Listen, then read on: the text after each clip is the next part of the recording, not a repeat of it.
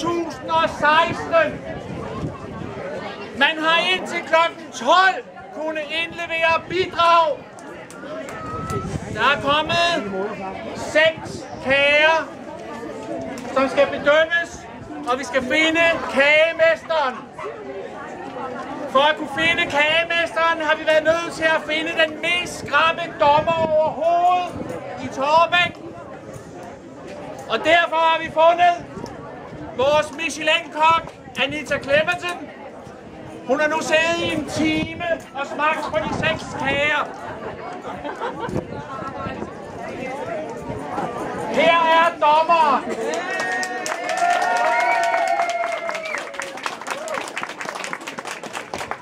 Men for at en dommer skal kunne kåre en vinder, skal vi også have kagerne. Kagerne bliver nu sat her på dette bord. Lad vi få kagerne.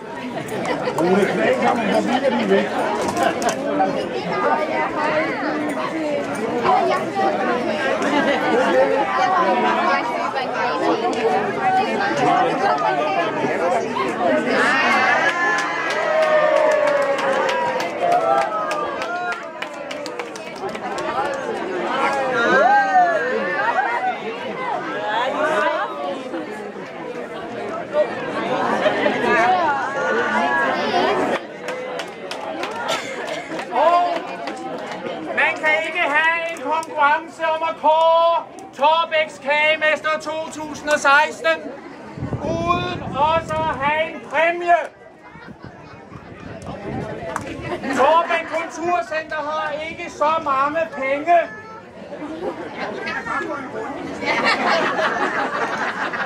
Men vi er blevet sponsoreret i dagens anledning. Så Torbæk Kagemester 2016 får en gave Anita til en aften på den gule kortage.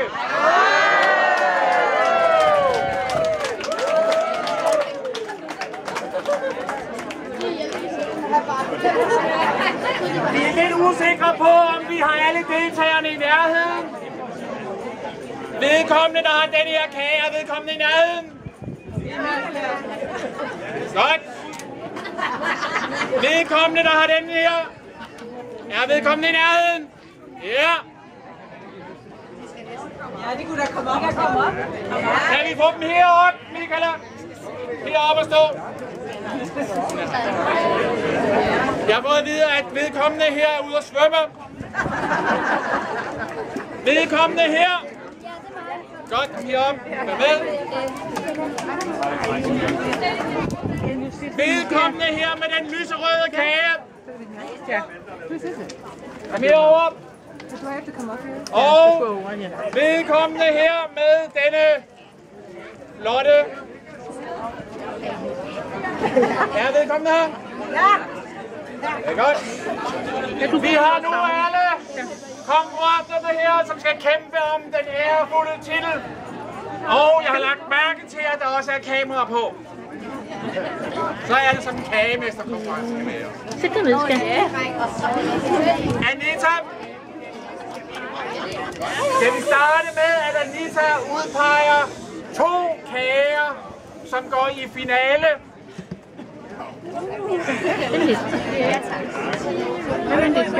Må jeg lige kort sige noget? Anita vil lige kort lige sige noget. Det går, det skal op Ja. Jeg vil sige, det har været en, øh, fantastisk, det har været en stor fornøjelse, stor ære, tak. Øh, og det har smagt fantastisk det hele. Der har været, øh, faktisk synes jeg, tænkt rigtig fint over konsistenser og øh, forskellige smage og masser af friskhed. Og rigtig mange tanker omkring øh, torbæk og brumbær og reps og rigtig skønt. Der var, øh, der var to i opløbet, vil jeg sige. Gas, må jeg godt sige, hvad det er for to? Øh, jeg var jeg hældte rigtig fint til den, øh, jeg ved ikke, hvad jeg skal kalde sådan en her. Det er din sådan en. What do you call it? Yeah. It's like a... KK. Ja. Rigtig, rigtig god syrlighed i bærene, der var i, og god konsistens i kagen indeni, og rigtig rart med det brændte udenpå.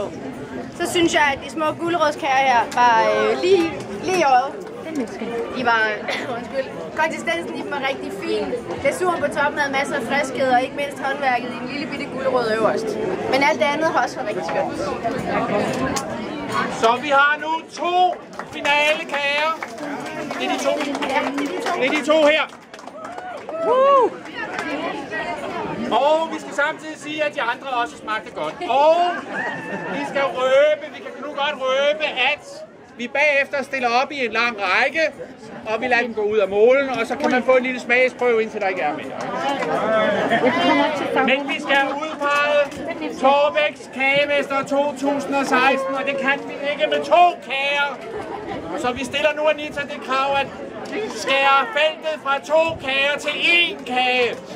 Jamen, øh, så, må, så må den bedste kage blive øh, den, som øh, synes jeg har twistet klassisk til. Rigtig fin, god syre, fint håndværk.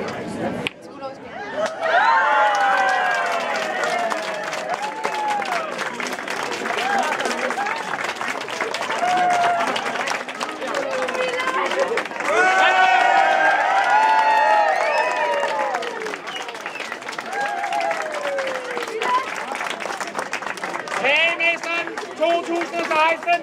En aften på den gule etage. Og vent lidt, skat. Og tusind tak til Anita fra den røde etage.